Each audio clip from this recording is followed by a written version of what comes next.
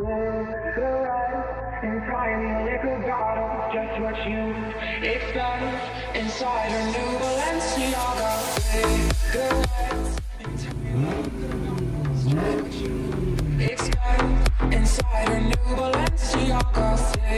Cigarettes in tiny liquor bottles, just what you expect inside a new Balenciaga. It's just what you